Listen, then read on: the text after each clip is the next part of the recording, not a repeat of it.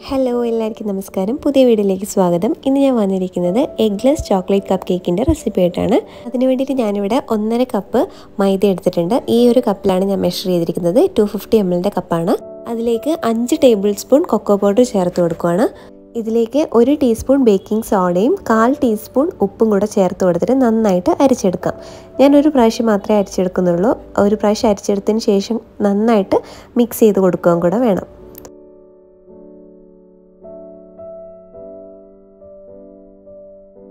അപ്പോൾ എല്ലാം കൂടെ നന്നായിട്ട് അരിച്ചെടുത്ത് നല്ലപോലെ മിക്സ് ചെയ്തെടുത്തിട്ടുണ്ട്. ഇനി ഇതിലേക്ക് ഒരു കപ്പ് പൊടിച്ച പഞ്ചസാര ചേർത്ത് കൊടുക്കാം. എന്നിട്ട് ഇതൊരു ഭാഗത്തേക്ക് മാറ്റി വെച്ചിട്ട് നമുക്ക് വെറ്റ് ഇൻഗ്രീഡിയൻസ് ഒക്കെ തയ്യാറാക്കാം. ഒരു പാത്രത്തിലേക്ക് ഒരു കപ്പ് റൂം ടെമ്പറേച്ചറിലുള്ള വെള്ളം ചേർത്ത് കൊടുക്കുന്നുണ്ട്. അതിലേക്ക് ഒരു ടീസ്പൂൺ വാനില എസൻസും രണ്ട് ടീസ്പൂൺ വൈറ്റ് വിനീഗറും അഞ്ച് ടേബിൾ സ്പൂൺ കുക്കിംഗ് ഓയിലും കൂടെ ചേർത്ത് കൊടുത്തിട്ട് നല്ലപോലെ മിക്സ് ചെയ്തെടുക്കുക. ഞാനിവിടെ എടുത്തിരിക്കുന്നത് സൺഫ്ലവർ ഓയിലാണ്. ഇത് നന്നായിട്ട് മിക്സ് ചെയ്തതിന് ശേഷം നമുക്ക് ഇത് ഡ്രൈ ഇൻഗ്രീഡിയൻസിലേക്ക് ചേർത്ത് കൊടുക്കണം.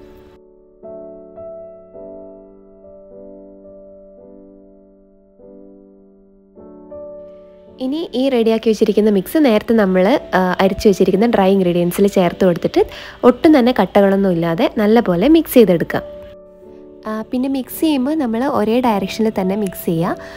നമുക്ക് ലാസ്റ്റ് നല്ല ക്രീമി കൺസിസ്റ്റൻസിയിൽ ബാറ്റർ കിട്ടണം. ഒട്ടും കട്ടകളൊന്നും ഉണ്ടാവാൻ പാടില്ല. പിന്നെ ആണെങ്കിൽ ഈ ഒരു മെഷർമെന്റ് തന്നെ നിങ്ങൾ ചെയ്യുവാണെങ്കിൽ കറക്റ്റ് നല്ല എന്താ പറയുക റിബൺ കൺസിസ്റ്റൻസിയിൽ തന്നെ നമ്മളെ ബാറ്റർ കിട്ടുന്നതായിരിക്കും. മിക്സ് ചെയ്യുന്ന ആ ഒരു സമയത്ത് തന്നെ നമ്മൾ ഏത് പാത്രത്തിലാണോ ബേക്ക് ചെയ്തെടുക്കുന്നത് അത് പ്രീ ഹീറ്റ് ചെയ്യാൻ വെച്ചിരിക്കണം.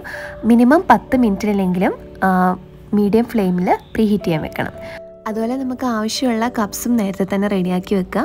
ഞാനിവിടെ എട്ടെണ്ണം എടുത്തിരിക്കുന്നത് സിലിക്കൺ കപ്സാണ് ബാക്കി നാലെണ്ണം പേപ്പർ കപ്സാണ് പിന്നെ ബാറ്റർ ഒഴിക്കുമ്പോൾ നമ്മൾ കപ്സിന്റെ പകുതി ഒഴിച്ചു കൊടുത്താൽ മതിയാവും.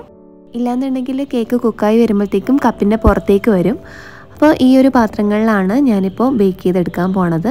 മീഡിയം ഫ്ലെയിമിൽ ഇരുപത് മുതൽ മുപ്പത് മിനിറ്റ് സമയം മാത്രമേ ഈ കേക്ക് ബേക്ക് ചെയ്തെടുക്കാൻ ആവശ്യമുള്ളൂ.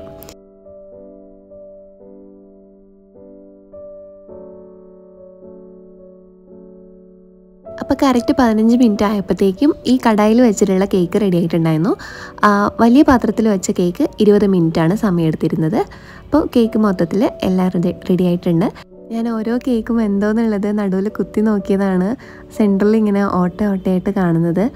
കേക്ക് നന്നായിട്ട് തണിയുന്ന സമയത്ത് ഞാൻ കുറച്ച് വിപ്പിംഗ് ക്രീം റെഡിയാക്കിയിട്ടുണ്ടായിരുന്നു. വിപ്പിംഗ് ക്രീമിൽ കുറച്ച് ചോക്ലേറ്റ് ഗണാഷും കൂടെ മിക്സ് ചെയ്തിട്ട് ആണ് ഈ ഒരു ഫ്രോസ്റ്റിംഗ് ചെയ്യാൻ ഉദ്ദേശിക്കുന്നത്. അല്ലാതെ തന്നെ ഈ കേക്ക് കഴിക്കാൻ നല്ല ടേസ്റ്റാണ് പിന്നെ ഇതൊരു ഭംഗിക്ക് വേണ്ടിയിട്ട് കൊടുത്തെന്ന് മാത്രം പിന്നെ ഈ ഒരു മെഷർമെന്റിൽ എനിക്കിപ്പോൾ പതിനാല് കപ്പ് കേക്ക്സ് കിട്ടിയിട്ടുണ്ട്.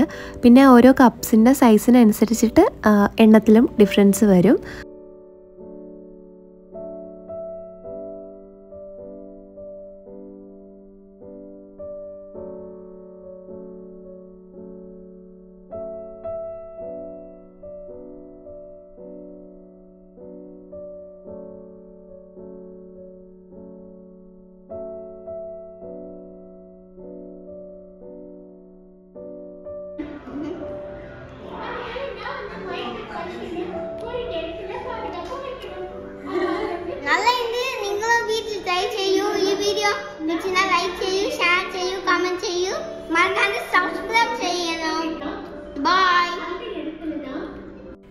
അപ്പോൾ ഇന്നത്തെ ഈ ഒരു വീഡിയോ എല്ലാവർക്കും ഇഷ്ടപ്പെട്ടെന്ന് വിചാരിക്കുന്നു. ഇഷ്ടപ്പെട്ടെങ്കിൽ ലൈക്ക് ചെയ്യുക. നിങ്ങളെല്ലാവരും ഈ റെസിപ്പി ട്രൈ ചെയ്തിട്ട് എനിക്ക് ഫീഡ്ബാക്ക്സ് അറിയിച്ചു തരിക.